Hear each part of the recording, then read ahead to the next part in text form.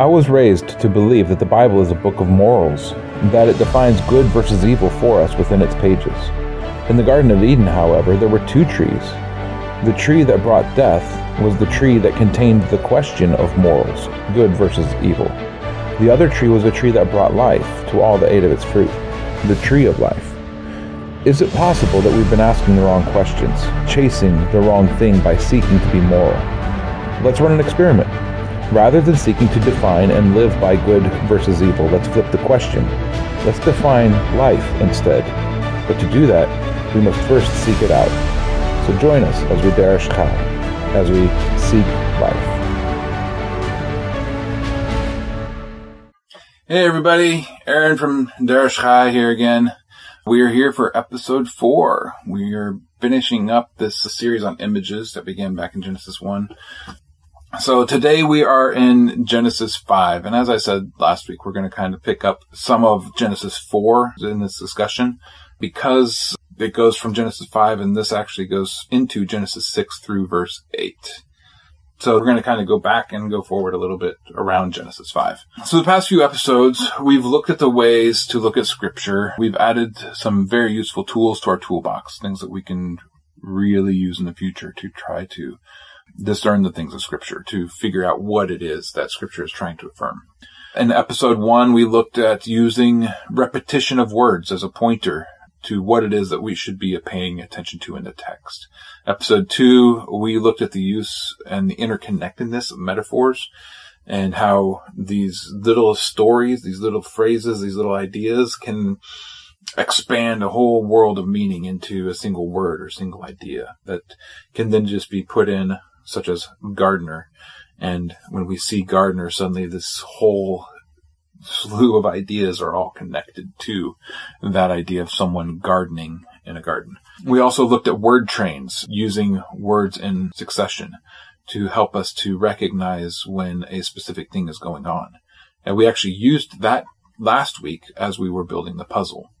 As we were taking the various pieces and putting them together, examining them, figuring them out to figure out where it is, what it is that's missing from the picture. And then once we understood what was missing from the picture, we could then figure out how we could fill that in using our own experience.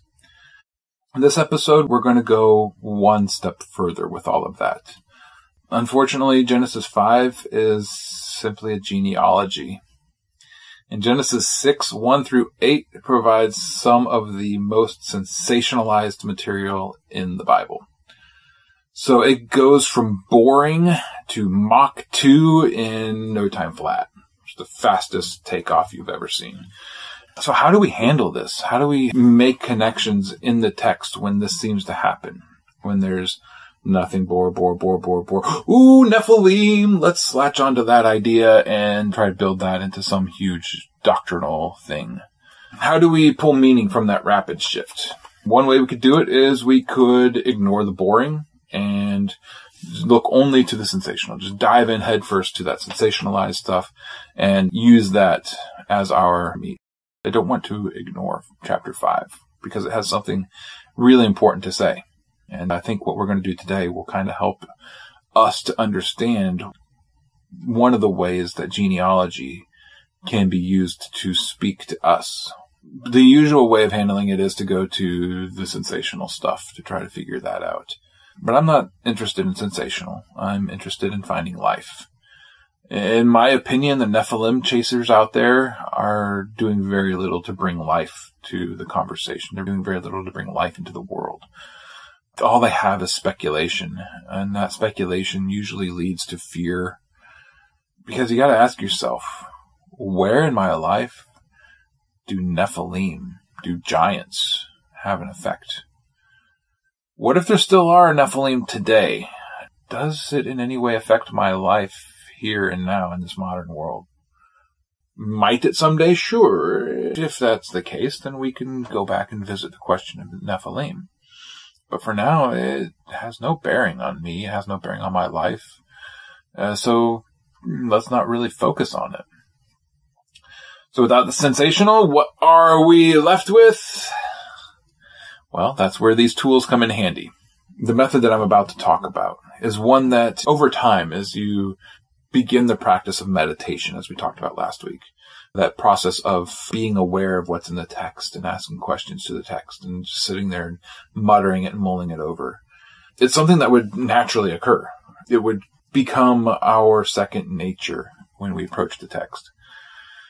Rather than waiting for that to be developed, we're going to take a shortcut. And we're going to do that by using a metaphor. That's one of the awesome things about metaphors is they can be used to shortcut disparate ideas and help us to make connections that might take time otherwise to arrive at. So one of the things we have to recognize, we have to realize is that when we read text, the human mind shifts its expectations of what it's going to find. So if you open a book of poetry, you kind of have an idea that what you're going to be looking at is mostly metaphor. And we know for a fact that reading poetry book, reading a book of Robert Frost is completely and utterly different than reading a textbook on poetry. Right? Two completely different experiences, even though they have the same subject. Same thing with fiction and technical manuals. You can read a fiction story about someone in a jet plane and then read a technical manual about that same plane. Two completely different styles of writing, two different things that you expect to get from the text. And I think that we can learn from that. Biography and history in the same way. In biography, you get the story of someone's life. In history, you get the events of someone's life. Two different things. Two very similar genres. But as you open the text, if you know what you're getting into, then you at least have some idea of what to expect from the text. And I think that we can use this to our advantage when we open the pages of scripture. Because there's a way of reading scripture that can help to induce the process of asking questions to the text. We can open scripture with a certain assumption or idea of what's in its pages. And that can help us to get to the message beneath the text, the thing that it's really trying to affirm. So, to get to what's beneath, we have to ask questions to the text, right? Now, what I'm about to say, I hesitate to say it, but I've said controversial things before that could be completely misconstrued. So I'm going to say it but please hear me out on this. It's a metaphor. It's not what I expect the reality of the text is. Does that make sense? So, I think one of the best ways that we can get ourselves to start asking questions to the text is to approach the text as if it were a novel. Now, I'm not saying that it's fiction. I'm not saying that it's a novel. Please hear me. However, when we open a novel, especially a good novel, we understand that in the text, the author is exploring topics that aren't necessarily the story that's happening. That the author is also trying to elicit a response within us using the words on the page. A good novel, every word every scene, every character, everything that occurs in that novel has a purpose. And that purpose is to progress the story towards its endpoint, towards its climax. That purpose is to get the reader to consider consequences, to consider philosophical ideas, to consider situations where they normally wouldn't find themselves in. But to then think on those things and contemplate how would I react in that situation? How would I react if, you know, whatever novel you want to go to? And so I think that there is a specific type of novel, one that we can use as a really good example of this. And those are the novels of Sherlock Holmes.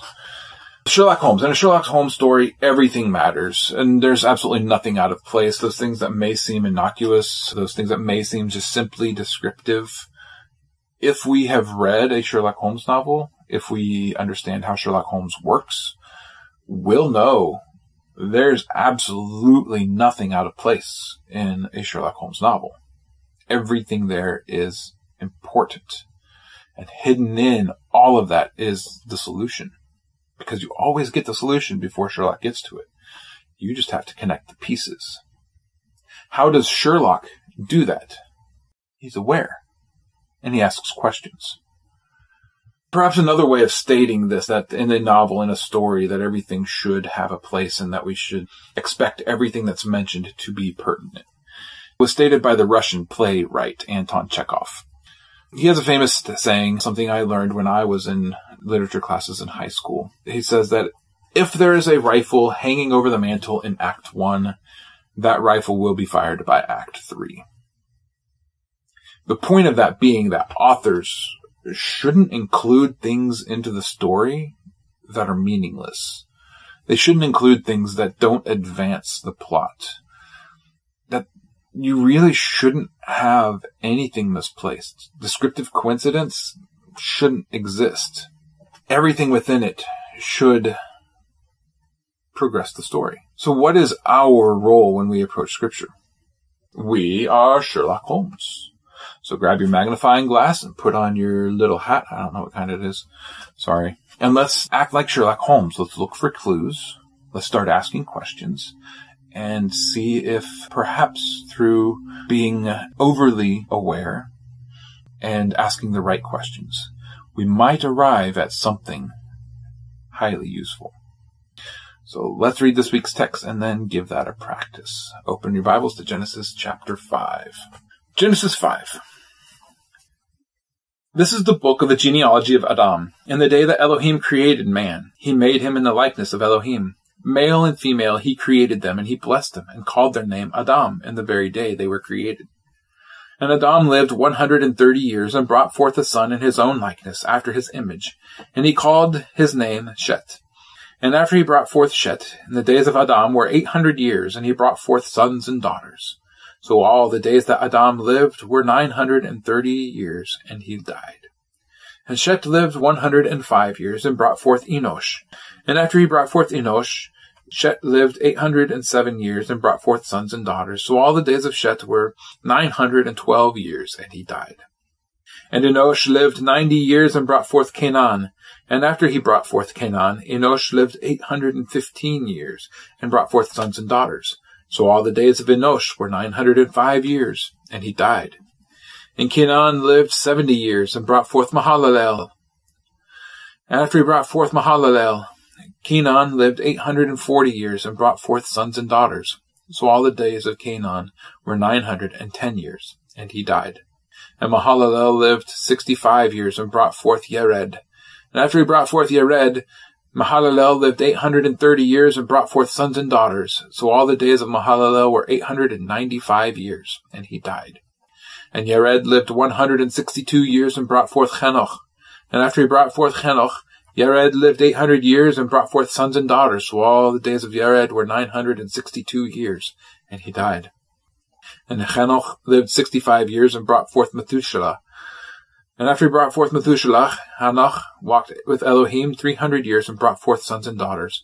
And all the days of Hanoch were three hundred and sixty-five years. And Hanoch walked with Elohim when he was no more, for Elohim took him. And Methuselah lived one hundred and eighty-seven years, and he brought forth Lemech. And after he brought forth Lemech, Methuselah lived seven hundred and eighty-two years and brought forth sons and daughters. So all the days of Methuselah were nine hundred and sixty-nine years, and he died. And Lemech lived one hundred and eighty-two years and brought forth a son, and called his name Noach, saying, This one does comfort us concerning our work and the toil of our hands, because the ground which Hashem has cursed. And after he brought forth Noach, Lemech lived five hundred and ninety-five years and brought forth sons and daughters. So all the days of Lemech were seven hundred and seventy-seven years, and he died. And Noach was five hundred years old, and Noach brought forth Shem, Chem, and Japhet. And it came to be, when men began to increase on the face of the earth, and daughters were born to them, that the sons of Elohim saw the daughters of men that they were good, and they took wives for themselves and all whom they chose. And Hashem said, My spirit shall not strive with man forever. In his going astray, he is flesh, and his days shall be one hundred and twenty years.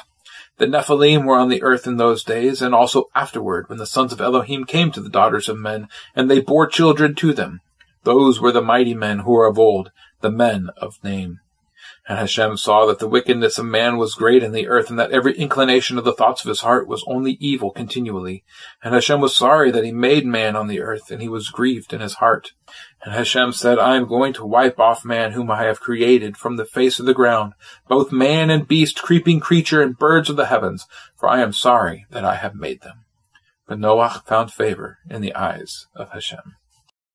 All right. So, like I said, 20 miles an hour to Mach 2 and no time flat. So the typically boring passage that we started in, what clues can we look for in that passage to assist us in trying to make heads or tails of what's going on? Verse 1 gives us a thread. Okay, so we're going to start looking for clues. And verse 1 gives us one of those clues, a thread that we can begin to pull on. And it says that in the day that God created man, what have we learned previously? If we see something that's repeated from somewhere previous, we need to go back to that place. So in the day that God created Adam, where was that? Genesis 1, right? So well, let's recognize there is a clue pointing us back to Genesis 1. It then continues on. He made him in the likeness of God. Again, another pointer back to Genesis. Man was created in the image of God, right? But it uses the word likeness here in many translations. If we go to the Hebrew, we will look for that word and we will find that in Genesis 1, the word image is different than the word likeness in this chapter. Does it mean anything? Well, let's consider it and find out. So in Genesis 1, the word used is tselem. It's something that's used for idols, for images. Tselem is what Rachel stole from her father Laban later on in Genesis. They're the little household idols. And they were just an image of something else, kind of like a metaphor. The word that's used here, however, is demut. If we look to how demut is used and where it's derived from, we come to understand that it's more of just a model of something. It's not an image, it's a model. How are they different?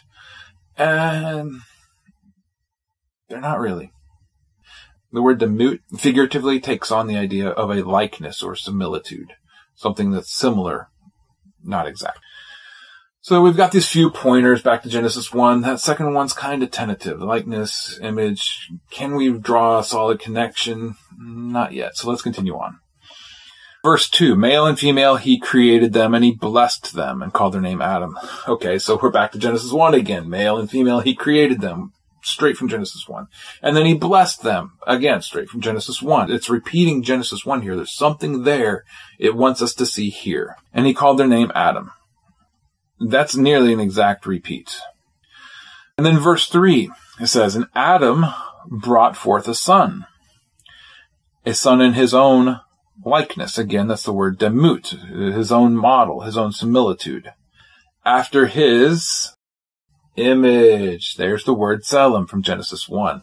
So we have now a very solid connection with Genesis 1, specifically to the idea of images, which is really what this entire four episode series has been dealing with is images. And so we have demut and tselem linked as words that mean very, very similar things. They're synonyms slightly different connotations in each, just as in English, the two synonyms can have a slightly different connotation to them. Then it begins to start listing all of these generations that proceed from Adam. And as we read through the following generations, there's a lot of repetition, but there's something that's not repeated. Something that we don't see again, and that is created in his image or in his likeness only one that was created in the likeness of the Father was Shet from Adam, right? But perhaps we're meant to understand that. So a few years back, I think it's something like seven or eight years now, I lost all of my faith in God, completely discarded everything I thought I knew about God. I went through an experience where my faith was shaken to its core and I just couldn't rely on anything that I hadn't proven for myself took me some time to get back to a place where I understood that there was a God. Okay, there there actually is some sort of something out there, and so I began to try to define what it is that that God was. What are his characteristics? How does he act? How can we relate to him? So on and so forth. And in that process, I began to look through a lot of different religious traditions.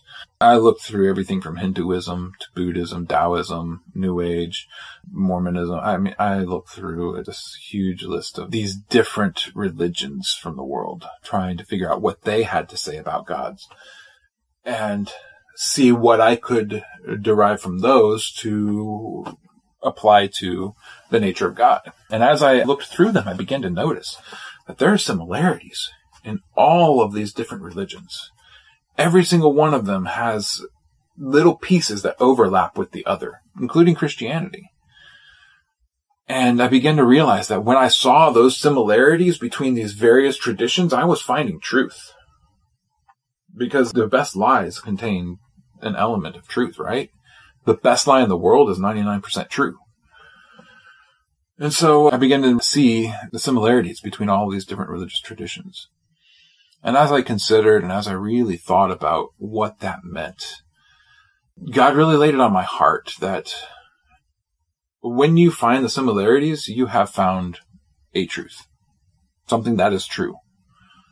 But if you want to find the truth, you have to begin looking at the differences and comparing and contrasting those ways in which they're each different from each other. That is a very useful skill, and it's something that we can apply here as we look through this chapter. Those differences. It says in Genesis chapter 5, verses 1 through 3, this whole thing about images, about the son being brought forth in the image of the father. And then it just goes through this whole list of sons being brought forth in the image of the father, making a few side comments about, for example, Enoch Noah. Just some side comments, a little something that we're supposed to look at and perhaps gain something from. I'm not really sure what we can gain from Enoch that's useful, other than that it is possible for a person to leave this world and not die. It's something that we see later in Second Kings when Elijah is taken up in a whirlwind. I think that's all we can really take from that. Noah, we're going to get an entire five weeks on Noah and his family. And so we'll really dig into Noah and what he means. So for now, let's kind of just stay here in Genesis 5. This picture of the image passing on from God to Adam and from Adam to Seth. And then it's missing. And I think that missing piece is to kind of clue us in that it is actually there it's as we look through it, we see the line, the image from God to Adam to his sons passing from one generation to the next all the way down to Noah. As we consider that, let's look back to what we just read in Genesis 4. We had the story of Cain and Abel, and then after that story ends, it then enters into a discussion of Cain's children, his offspring, those created in Cain's image. And what was it that those created in Cain's image did. Well, Cain himself was supposed to be a wanderer, but rather than wandering, he founded a city. Rather than filling the earth, he congregated into that city place. His children developed metallurgy, entertainment. Uh, entertainment itself isn't bad, but it is useful for drawing one's attention away from the things that are important. Then they created weapons of war. They began to industrialize killing. I mean, let's just leave it at that. They began to industrialize killing. Cain killed his brother, and over the generations, they turned it into an industry. They made it something that was celebrated. Let's look to our entertainment today. What is it that's celebrated? It's that killing. It's that industrialized killing on large scales. So rather than Cain's maybe unintentional murder of his brother, Lamech, the fullness of Cain's line, intentionally and personally had someone killed for his slightest offense. But we know from later in scripture that the realm of vengeance belongs to God himself, not to men. But Lamech was the one who took that vengeance upon himself. So Cain produced offspring in his own image, the seed after his kind, to use another phrase from Genesis 1. Another subtle clue to this is in Genesis 4 verse 1. It was Eve who bore a son. Cain and Abel are never really described as Adam's son, other than Adam knew his wife Eve and she bore a son. And then Adam's gone from the thing. It is Eve who bears it. It's Eve who names the children. And she was the one who in Genesis 3 gave in to the temptation in the garden. It's almost as if it's saying that Cain was in Eve's image. I'm not trying to make any kind of claim about women being lesser than men or more evil than men or anything like that. It's just the imagery that the Bible itself provides. It's something that Paul talks about, how Eve was the one who gave in.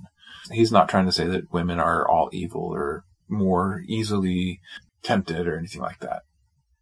Don't hear that in any place in the Bible. It's just following that natural metaphor that's carrying that image out to its fullest conclusion.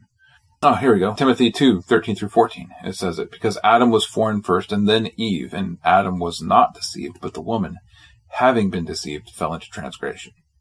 He's not passing blame. He's not trying to say, oh, that evil woman, she's the reason that Adam fell. No, God makes it very clear. Adam's responsible for his own choices. Eve is responsible for her choices. But we get this picture of Eve as the one who was tempted and succumbed to the temptation. Passed on to Cain, who was tempted, succumbed to the temptation, who then passed it on to all of his children until we get to Lamech, and Lamech is tempted to take multiple wives. Lamech is tempted to kill people for nothing at all. In fact, if you look at the words used for what those men did to Lamech, it's bruising. It's a slight, they scratched me, I'm going to kill them. So in chapter 5, Seth is identified as the son, the image of Adam, who was the image of God. And then Genesis 5 follows that from generation to generation of the seed of the kind after the father. Created in God's image, created in Adam's image, not created in Eve's image, because Eve's image was the one of deception and sin.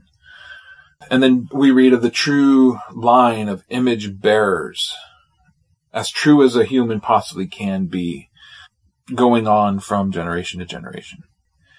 And at the end of that, there was only one who was righteous in his generations, in his history, in his lineage, in his upbringing, and that's Noah. He was the only one left of that line of God passed through men, of the image of God being modeled out into the world. And so as we consider that, we have to realize we all produce fruit into the world. We all produce fruit in someone's image. My son is being brought up in the image of Aaron Bishop. Actually, in the image of Aaron and my wife. The way that we deal with situations, the way we react to stress, the way we operate in our relationship with each other, the things we care for, the tastes of foods that we prefer, Uh, family traditions and more will be modeled in him as he grows. They'll morph slightly as he becomes his own person, as he grows into his own understanding of the world, but they're all going to be based on that initial re-imaging of myself and my wife in him. And so as we come into contact with the world, we begin to sow seed as well. We plant seeds in others of the image that we operate in. And I think that's one of the way that generational curses is something you'll hear about in Christian circles.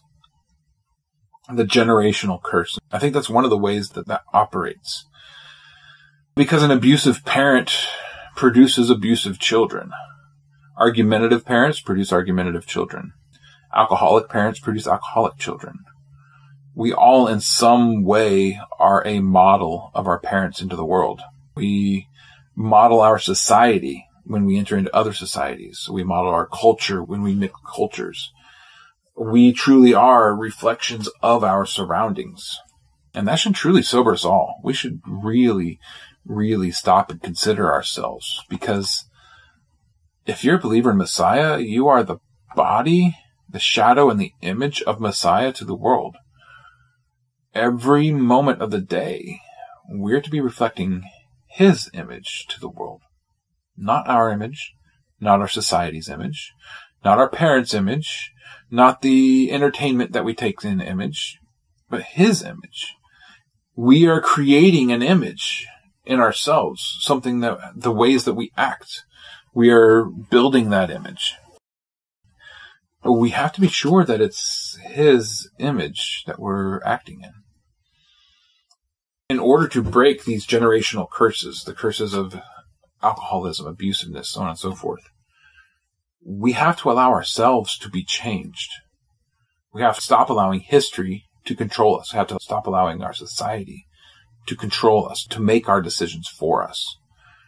The ways that we have been hurt and those who are responsible for that hurt have to be forgiven. The image can't be fully realized until that happens.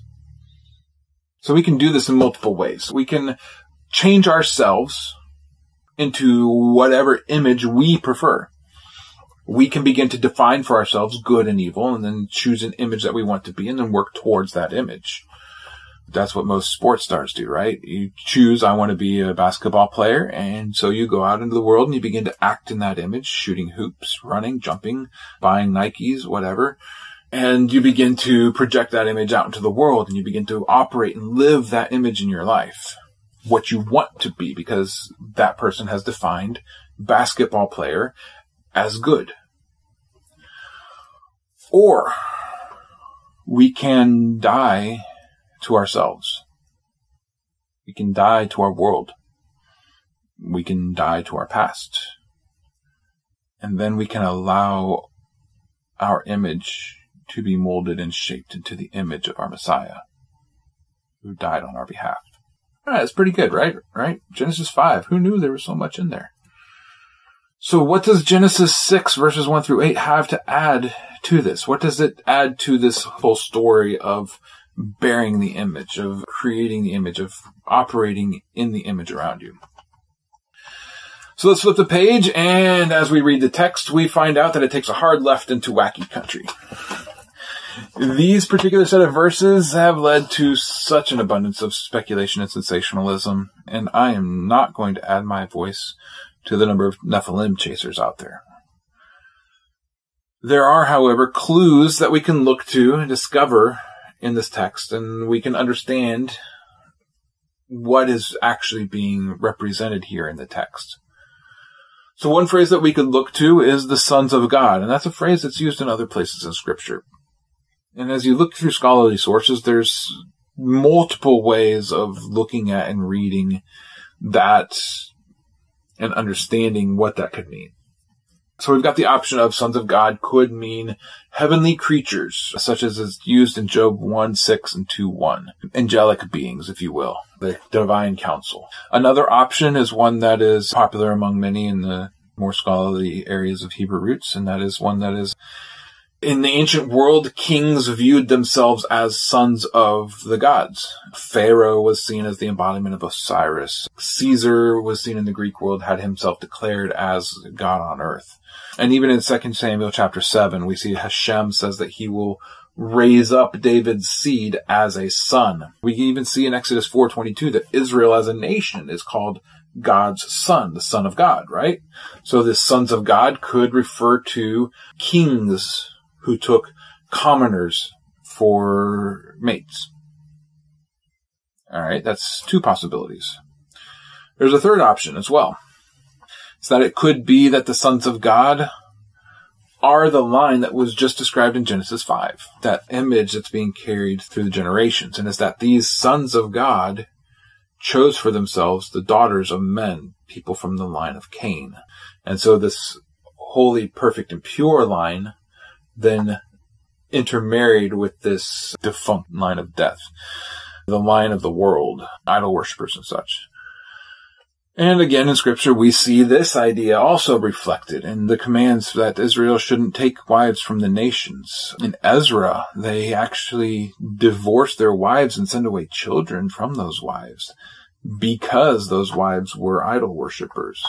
And again, it's another idea we can see all through scripture. All three of those are something that we can see reflected in scripture. So which is it? Does it matter? Does it affect you? Hmm.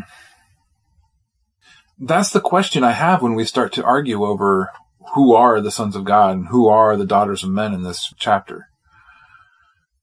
How does your chosen solution to this conundrum advance the cause of the kingdom of God? Does it bring life? Is that what we're supposed to focus on in this section? Trying to define this. The truth is that all three of those options do conform to various patterns in scripture. So, uh, which one's right? I don't know. I really don't know. And frankly, I don't care. However, we do find a pattern here a pattern that is useful, something that we can learn from. And again, we're looking back to that pattern from Genesis chapter 3 verse 6. That pattern of seeing something, defining as good, and then taking for yourself. because Genesis 6 2 contains all those same words.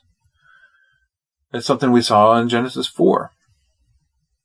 So it's a pattern of temptation, right? So what does that tell us? There's this pattern of temptation going on here. Who's being tempted? I don't know. What are they being tempted with? Daughters of men.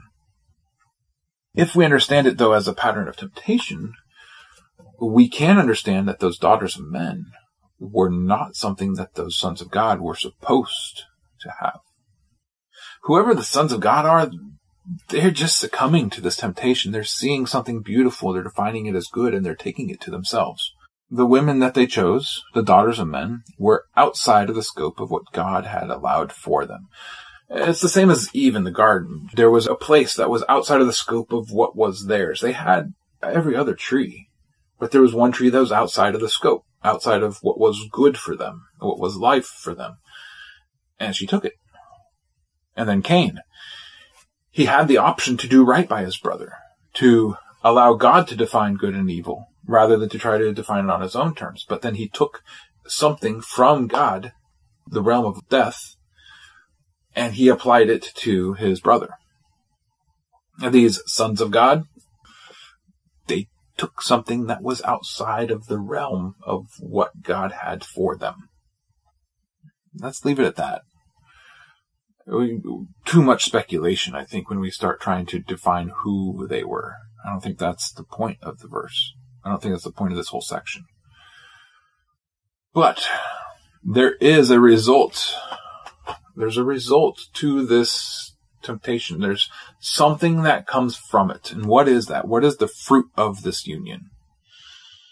The Nephilim. Oh boy. what surprises me so much is how much airtime Nephilim get on YouTube and through other teachers when it's a word that appears only three times in scripture and in only two verses. This verse here and in Numbers 1333. The only two times in all of scripture you will find the word Nephilim. Why do we spend so much time on it? because it's sensational. And we love sensation, don't we? I mean, you're all going to see Avengers, aren't you? It's sensational. We love it. We eat it up. Mmm, tasty. However, that verse in Numbers 1333 connects the Nephilim to another race, the Anakim. And then if we start tracing the path of the Anakim, again, mentioned only like seven times in scripture, we start to get these other names, the Rephaim, the Zamzumim, the Emim, and so many others, which then opens the scope of, uh, spreads that seed of the Nephilim through the pages of scripture. It's as if the seed of the Nephilim is being planted here and then kind of filters its way through. So who are these races? Who are the Anakim, the Zamzumim, the Rephaim? Who are they? Each of them is identified as a powerful race, giants, whether that means they were actual like 10 feet tall, 15 feet tall people, or it just means that they were, you know, a head taller than the average short Israelite, which is somewhere around five four. We don't really know. There's a lot of speculation out there, and there's a lot of really bad, deceitful, if you will, articles and images flying around social media trying to prove some things that have not been proven images of skulls and skeletons and so on and so forth that have been completely doctored. But each of these powerful races we see later are enemies of God. They are enemies of the natural order. And it's been theorized that these are the races that God was trying to wipe out when he ordered the conquest of Canaan the Canaanites had intermarried with some of these races and the, so was trying to wipe out these bloodlines from the Nephilim that had come before. Mm, we don't know that. We do know that the Edomites faced off against some of these guys. In Deuteronomy early on, we read of the Edomites facing off against Emim and that they had to cleanse them from the land of Seir that they entered into. But regardless, let's just use them right now as a placeholder for enemies who brought death, because what are they described as? Men of valor, strong men, mighty men, warriors. They were men who brought death. And that, I think, kind of gets us to something that we can sink our teeth into. Because what was it we saw back in Genesis 4? The temptation, the living out that image of the father, or in this case, the mother, being one that brings death, living in an image other than God's, which is then carried from generation to generation on until that death is immortalized and industrialized, seen on a large scale. And then here in chapter 6, we see the same thing. These sons of God marry daughters of men. They bear Nephilim, and those Nephilim are also men who have industrialized death. But right there in the center, in the middle, is a race where not a single person is a mighty man of valor, not a single person's hunter or killer. They are men, generation after generation, who carry on the image of God from one generation to the next. They operate as fully as they can in the image that God gave man through Adam. Hmm. So this entire section from chapter 4 verse 16 through chapter 8 is a discussion of the seed of men. Kind producing after kind. You can be in the image of your father if you like. That's what it's kind of posing to us.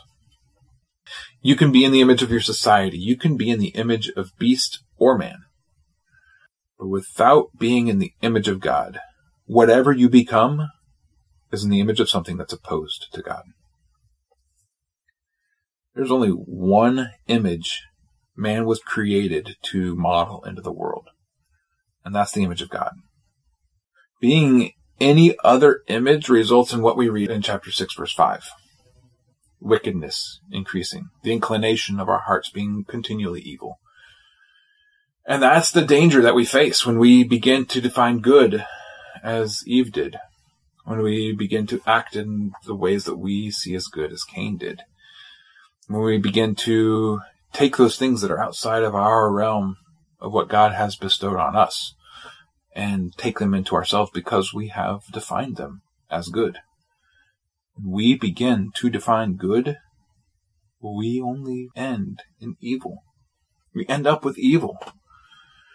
And the result of that is violence, and the result is wickedness. It's death. And that, that results in judgment.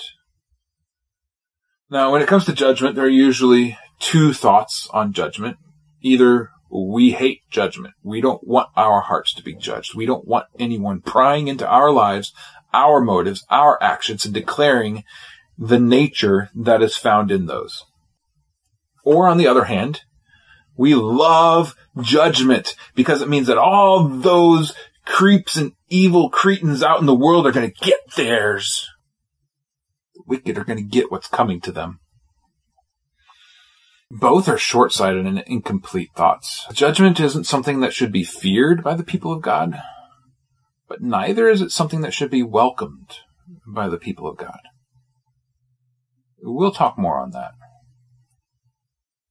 What we will talk about today is that there is a way to escape the judgment that is due mankind for following after these other images, whether they be men or beast, or even sons of God. Because there's only one image that man was created to reflect. One image only. We are made to reflect the image of the one true God, the God of creation, the God of life. All of us. Every single person on earth, if you draw breath, that is your calling. To model the God of life into the world. But we are in the image of our father Adam when we're born we bear that image of death within us. Uh, we bear that image very close to our skin because we seek to engage in death. We seek to spread death. We are, in fact, creatures of death since we began defining good and evil on our own. one thing that we will find as we continue on is that God only defines something as good once it's reached its potential to support life. Let's go back to Genesis 1.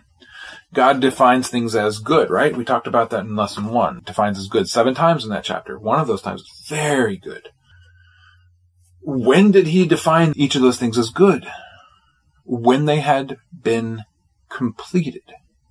He didn't define as good until it was all said and done in that instance. We see that in Genesis 1. That's pretty clear. But let's look at the end of Genesis, the story of Joseph. Some very terrible things happened to Joseph in his life. Things we would call evil. Things that man intended for evil. But it's not until the very end of Joseph's story that it's actually defined as good. All of it. Everything he went through, all the hardship, all the heartache, all the trials and temptations, all the false accusations, all of it was good in the end. The process was good because of where it ended. Hmm. There was something in Genesis 2 that was called not good. Loneliness. Being outside of community. It's impossible to bring life, to live in the way of life without community. It's not good that man should be alone. Not good that man should be alone. Man needs people around him. We need mate. We need community. We need fellowship. It's only in fellowship, it's only in that community that we can find life. There's only one way to escape judgment, to reach that point of good and that is to find grace in the eyes of God. And that's where this parsha ends. It ends with that last man in the line of Adam, in the line of the image of God.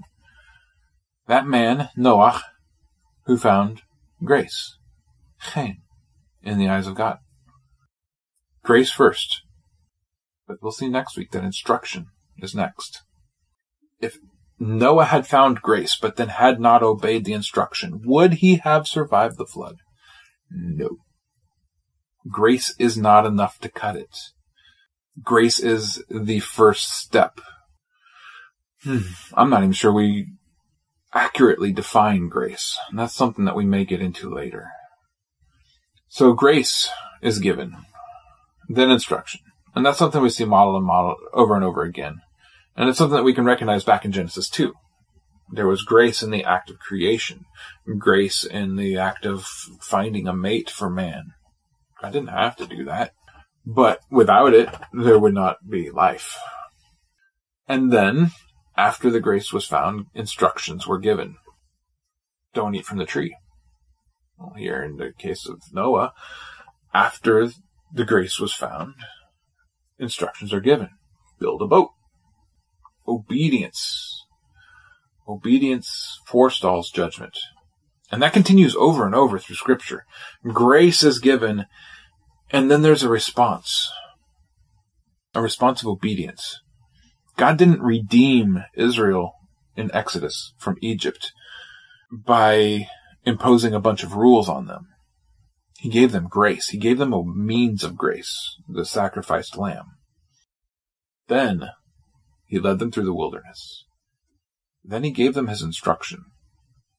And when they broke it, and they did, he gave them grace again by reconstituting the covenant.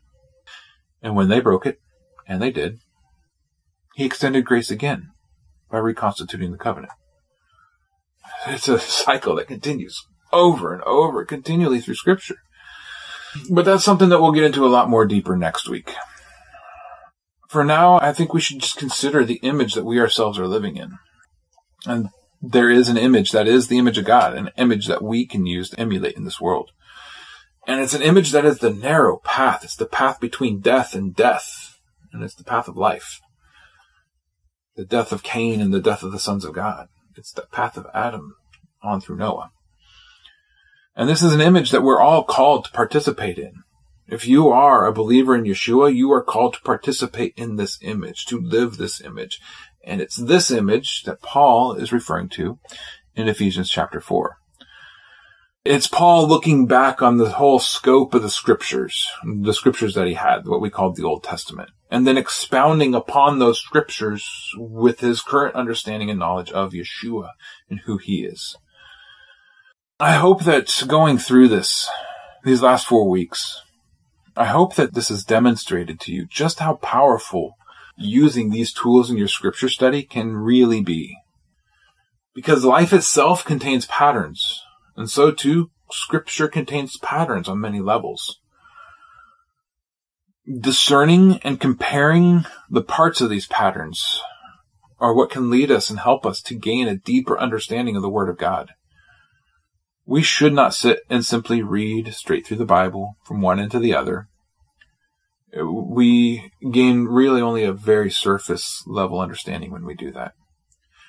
The true depth of understanding comes with sitting in the text and acting like Sherlock Holmes. It comes with sitting in, with the text and being aware of what it says, asking questions to the text, figuring out what it's trying to affirm rather than trying to figure out what's sensational and the things that don't matter. Many times, uh, what's going on in the text will be things that we don't want to focus on. We want to focus on the characters. We want to focus on the sons of God. We want to focus on the Nephilim. But that's not the most important thing in this chapter. That's not the thing of life in this chapter.